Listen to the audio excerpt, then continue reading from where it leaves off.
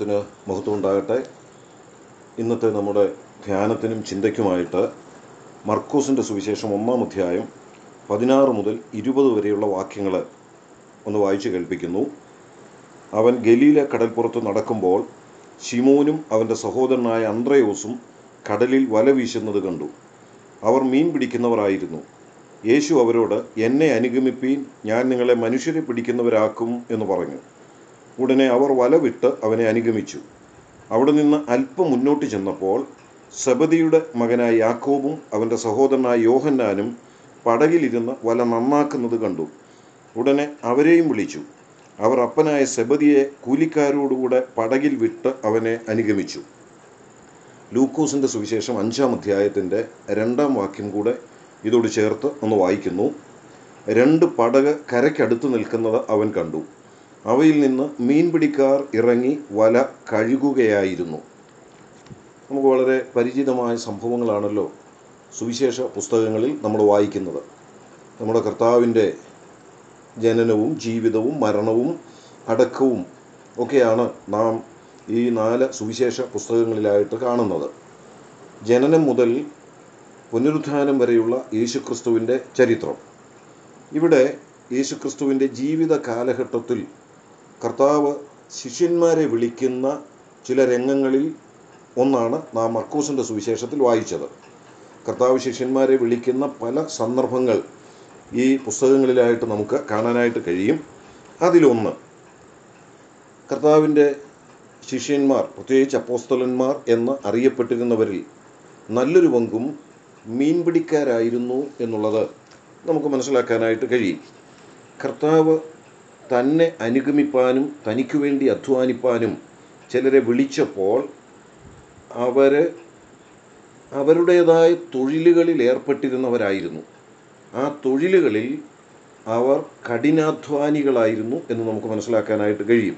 പ്രത്യേകിച്ച് മീൻപിടുത്തക്കാരോടുള്ള ബന്ധത്തിൽ അവർ കഠിനാധ്വാനം ചെയ്യുന്നവരാണ് അതുമാത്രമല്ല അവരുടെ ജോലി എന്ന് പറയുന്നത് വെള്ളത്തോടും കടലിനോടും തിരയോടും തിരമാലകളോടുമൊക്കെ മല്ലടിച്ചുള്ള വളരെ റിസ്ക് എടുത്തുള്ള ഒരു ജോലിയാണ്.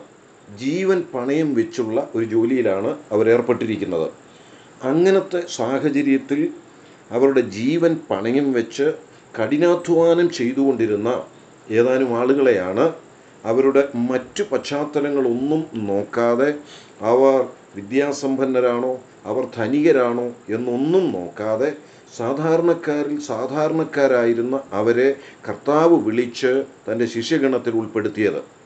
ശിഷ്യഗണത്തിൽ ഉൾപ്പെടുത്തിയെന്ന് മാത്രമല്ല അവരെ പിന്നീട് അപ്പോസ്തലന്മാരാക്കി ദൈവസഭയുടെ അടിസ്ഥാന കല്ലുകളാക്കി മാറ്റി. പിന്നീട് അവരിലൂടെയാണ് കർത്താവ് വലിയ കാര്യങ്ങൾ പ്രവർത്തിച്ചിട്ടുള്ളത്. ഇന്നും കർത്താവിന്റെ ശിഷ്യന്മാരിൽ നിന്നും തന്നെ അനുഗമിക്കുന്നവരിൽ നിന്നും അഥവാ നമ്മിൽ നിന്ന് ദൈവം ആഗ്രഹിക്കുന്ന ഒരു വലിയ കാര്യം അവിടെ നമുക്ക് മനസ്സിലാക്കാനായിട്ട് കഴിയും. നാം കർത്താവിന് വേണ്ടി കഠിനാധ്വാനം ചെയ്യുന്നവരായിരിക്കണം. കർത്താവിന് വേണ്ടി അധ്വാനിക്കുവാൻ മനസ്സും താല്പര്യമുള്ളവരായിരിക്കണം അതുമാത്രമല്ല നമ്മുടെ ജീവനേക്കാൾ കർത്താവിനെ സ്നേഹിക്കുന്നവരും ജീവിതത്തിൽ കർത്താവിന് വേണ്ടി റിസ്ക് എടുത്ത് അധ്വാനിക്കുവാൻ മനസ്സുള്ളവരുമായിരിക്കണം. ആ ഒരു പശ്ചാത്തലത്തിൽ നിന്നുള്ളവരെയാണ് കർത്താവ് തന്റെ ശിഷ്യഗണത്തിലേക്ക് ഉൾപ്പെടുത്തിയതായിട്ട് ഈ ഭാഗങ്ങളിലൂടെ നമുക്ക് മനസ്സിലാക്കാൻ കഴിയുന്നത്. അതുമാത്രമല്ല ഇവരെ വിളിച്ചപ്പോൾ അവർ ചെയ്തുകൊണ്ടിരുന്ന ജോലിയോട് ബന്ധപ്പെട്ട് മൂന്ന് പ്രയോഗങ്ങൾ ഈ വായിച്ച വേദഭാഗങ്ങളിലുണ്ട്. ഞാനത് വീണ്ടും വായിക്കുന്നില്ല. എടുത്ത് ഉദ്ധരിക്കുക മാത്രം ചെയ്യട്ടെ. ഒന്ന് അവരിൽ ചിലർ വല വീശിക്കൊണ്ടിരിക്കുകയായിരുന്നു. വേറെ ചിലർ വല കഴുകിക്കൊണ്ടിരിക്കുകയായിരുന്നു. വേറെ ചിലർ വല നന്നാക്കിക്കൊണ്ടിരിക്കുകയായിരുന്നു. ഇവരെയാണ് വിളിച്ച് ദൈവസഭയുടെ അടിസ്ഥാന കല്ലുകളാക്കി മാറ്റിയത്. ഇവരിലൂടെയാണ് പിന്നീട് സഭയ്ക്ക് ആവശ്യമായ അടിസ്ഥാന ഉപദേശങ്ങൾ നൽകപ്പെട്ടത്. ഈ മൂന്ന് ജോലികൾ ഇന്ന് ദൈവസഭയിൽ ഉണ്ടായിരിക്കേണ്ട മൂന്ന് ജോലികളായിട്ട് നമുക്ക് മനസ്സിലാക്കാനായിട്ട് കഴിയും. വല വീശുന്നവർ ദൈവസഭയിലുണ്ടായിരിക്കണം വല വീശുക എന്ന് പറയുമ്പോൾ ഇത് മീൻ പിടിക്കുന്ന കാര്യമാണ്. എന്നാൽ അവരെ വിളിച്ച് കർത്താവ് പറയുന്നത് ഇനിയും നിങ്ങൾ മീൻ പിടിക്കുന്നവരല്ല മനുഷ്യരെ പിടിക്കുന്നവരാകും. ഞാൻ നിങ്ങളെ മനുഷ്യരെ പിടിക്കുന്നവരാക്കും എന്നാണ്. കർത്താവ് പറഞ്ഞതനുസരിച്ച് വല വീശിയപ്പോൾ പെരുത്ത മീൻകൂട്ടം കിട്ടിയത് തിരുവഴുത്തിൽ നമ്മൾ വായിക്കുന്നുണ്ട്. യോഹന്നാന്റെ സുവിശേഷം ഇരുപത്തി ഒന്നാം അധ്യായത്തിലേക്ക് വരുമ്പോൾ വളരെ പരിചിതരായിരുന്ന മീൻപിടുത്തക്കാർ രാത്രി മുഴുവൻ അധ്വാനിച്ചിട്ടും ഒന്നും കിട്ടാതിരുന്നു. കർത്താവിന്റെ വാക്കിന് വല വീശിയപ്പോൾ പെരുത്ത മീൻകൂട്ടം അക്ഷരീകമായ മീൻകൂട്ടം പോലും കർത്താവിന്റെ വാക്കിനനുസരിച്ച് വല വീശിയപ്പോൾ കിട്ടിയിട്ടുണ്ട്. വല വീശി മീൻകൂട്ടം കിട്ടി. ഈ പത്രോസ് മുക്കുവനായിരുന്ന പത്രോസ് പെന്തക്കോസ്റ്റ് നാളിൽ വല വീശിയപ്പോൾ ആ വലയ്ക്കകത്ത് മൂവായിരത്തോളം മീനുകൾ പ്രവേശിച്ചതായി നമുക്ക് മനസ്സിലാക്കാനായിട്ട് സാധിക്കും. മനുഷ്യരെ പിടിക്കുന്നവരാക്കും എന്ന് പറഞ്ഞ കർത്താവിന്റെ വാക്കുകൾ അവിടെ അക്ഷരീകമായി നിറവേറ്റപ്പെടുകയായിരുന്നു. സുവിശേഷ വേല ചെയ്യുക ഇതാണ് ആ വല വീശുക എന്ന പ്രയോഗത്തിലൂടെ നമുക്ക് മനസ്സിലാക്കാനായിട്ട് കഴിയുന്നത്. ദൈവസഭയുടെ ഒരു വലിയ ഉത്തരവാദിത്വമാണ് സുവിശേഷ വേല നിർവഹിക്കുക എന്നുള്ളത്. ഇപ്പോഴത്തെ പ്രത്യേക സാഹചര്യത്തിൽ നാം മുൻപ് ചെയ്തു വന്നതുപോലെയോ നാം ആഗ്രഹിക്കുന്നത് പോലെയോ സുവിശേഷ പ്രവർത്തനങ്ങൾ സാധ്യമല്ല. എന്നാൽ ഇന്നും നമ്മളാവോളം നമുക്ക് കഴിയുന്ന വിധത്തിലൊക്കെ ഇപ്പോഴത്തെ നിയന്ത്രണങ്ങൾക്കുള്ളിൽ നിന്നുകൊണ്ട് എങ്ങനൊക്കെ ഏതൊക്കെ വിധത്തിൽ സുവിശേഷത്തിന് വേണ്ടി പ്രവർത്തിപ്പാൻ കഴിയുമോ എന്നുള്ളത് തിരിച്ചറിഞ്ഞ് ആ നിലയിൽ ഇന്നും സുവിശേഷത്തിന്റെ വേല ചെയ്യുവാൻ ദൈവസഭ കടപ്പെട്ടിട്ടുണ്ട് എന്നുള്ളത് നാം മനസ്സിലാക്കേണ്ട ഒരു വലിയ കാര്യമാണ്. വല വീശുന്നവർ ദൈവസഭയിലുണ്ടായിരിക്കണം രണ്ടാമതൊന്ന് വല കഴുകുക എന്നുള്ളതാണ്. വല കഴുകുന്നത് എന്തിനു വേണ്ടിയാണ്? മീൻ പിടിക്കുവാൻ കൊണ്ടുപോകുന്ന വല. അത് വീശി അതിനകത്ത് മീൻ കയറിയാൽ ആ മീനിന്റെ ദുർഗന്ധം ആ വലയ്ക്കുള്ളിൽ കാണും. ആ ദുർഗന്ധം അടുത്ത പ്രാവശ്യം വല വീശുന്നതിന് മുമ്പ് കഴുകി വൃത്തിയാക്കിയിട്ടാണ് വീണ്ടും വല വീശാനായിട്ട് പോകുന്നത്. അകത്ത് പറ്റിയിട്ടുള്ള ചെളിയും അകത്ത് പറ്റിയിട്ടുള്ള അഴുക്കും ഒക്കെ കഴുകി വെടിപ്പാക്കുക. അങ്ങനെ വല കഴുകിക്കൊണ്ടിരുന്ന ചിലരെ കർത്താവ് തന്റെ അരിയിലേക്ക് വിളിച്ചു ശിഷ്യഗണത്തിൽ ഉൾപ്പെടുത്തി. ഇന്ന് ദൈവസഭയിൽ ഉണ്ടായിരിക്കേണ്ട മറ്റൊരു ശുശ്രൂഷയാണ് വല കഴുകുക എന്നുള്ളത്.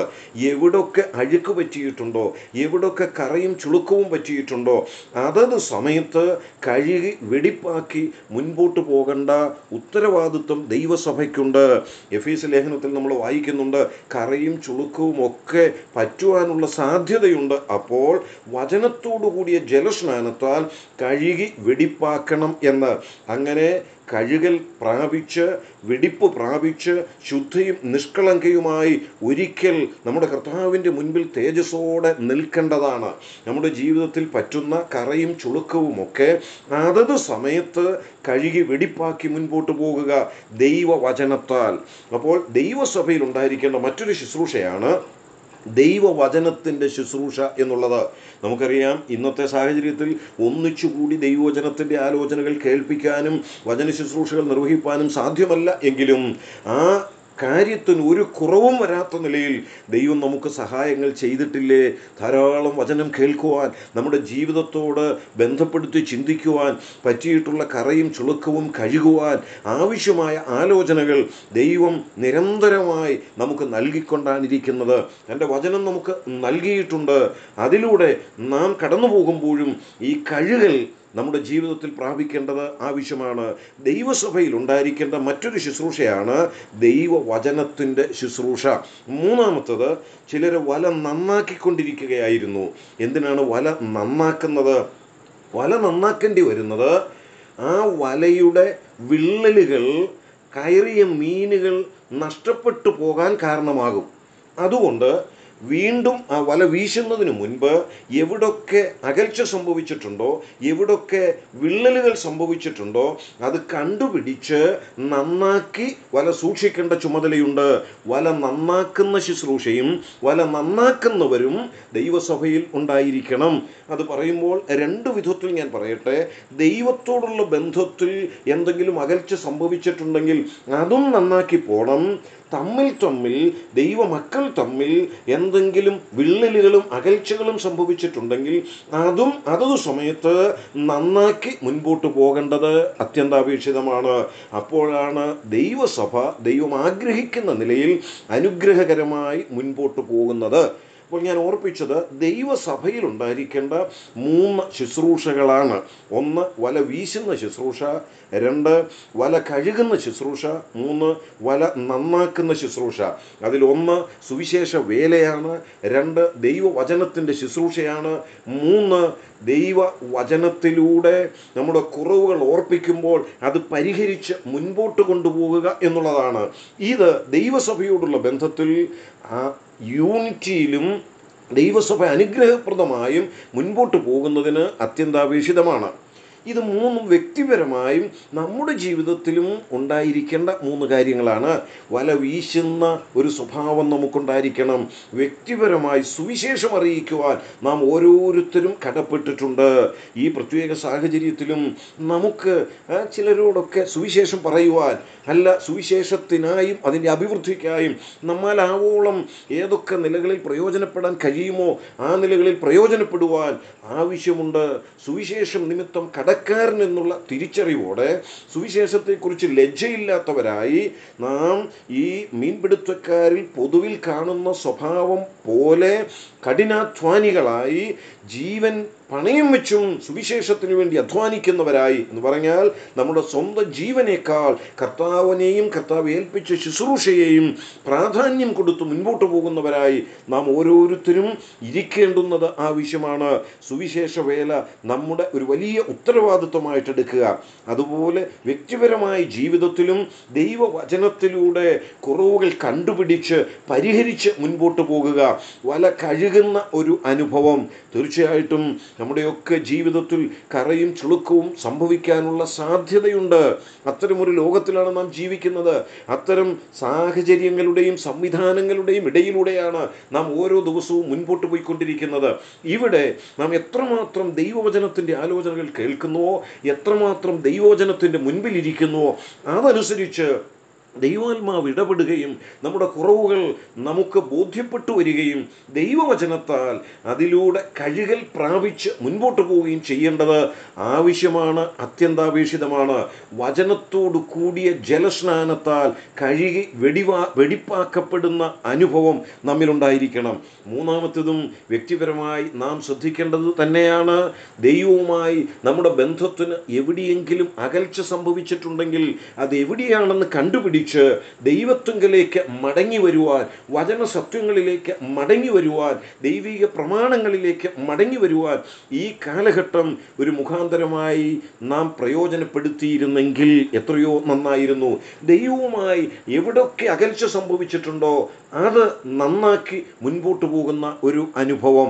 അതുപോലെ തന്നെ നാം മറ്റുള്ളവരോടുള്ള ബന്ധത്തിൽ പരസ്പരം ആരോഗ്യപരമായ ബന്ധം കാത്തുസൂക്ഷിച്ച് നിലനിർത്തി പോകേണ്ടുന്ന ഇടങ്ങളിൽ അത് കുടുംബത്തിനുള്ളിലാണെങ്കിലും സഭാ ബന്ധത്തിലാണെങ്കിലും സാഹോദര്യ ബന്ധത്തിലാണെങ്കിലും എവിടെയെങ്കിലും നാം ആരോഗ്യപരമായി നിലനിർത്തേണ്ട ബന്ധങ്ങൾക്ക് എന്തെങ്കിലും കുഴപ്പങ്ങൾ സംഭവിച്ചിട്ടുണ്ടെങ്കിൽ എന്തെങ്കിലും അകൽച്ചകൾ സംഭവിച്ചിട്ടുണ്ടെങ്കിൽ അതും നാം തിരിച്ചറിഞ്ഞ് പരിഹരിച്ച് മുൻപോട്ട് പോകുവാൻ ആവശ്യമാണ്. ആ നിലയിൽ വല നന്നാക്കുന്ന അനുഭവം വ്യക്തിപരമായി നമ്മുടെ ഓരോരുത്തരുടെയും ജീവിതത്തിലും ഉണ്ടായിരിക്കേണ്ടതാണ്.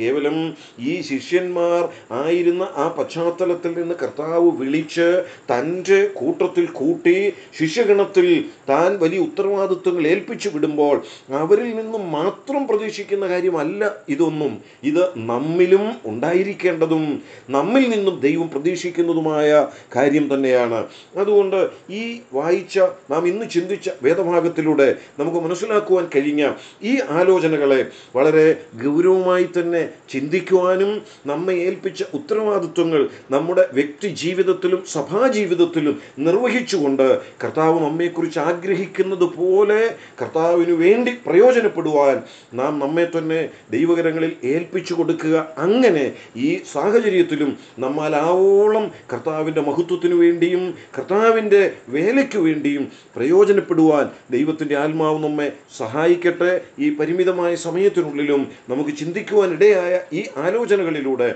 നമ്മുടെ ഉത്തരവാദിത്വങ്ങൾ നമ്മുടെ കടപ്പാടുകൾ തിരിച്ചറിഞ്ഞ് അത് നിർവഹിച്ച് മുൻപോട്ട് പോകുവാൻ ദൈവം സഹായിക്കട്ടെ. ദൈവ തിരുനാമം ഇപ്പോഴും എപ്പോഴും വാഴ്ത്തപ്പെടുമാറാകട്ടെ.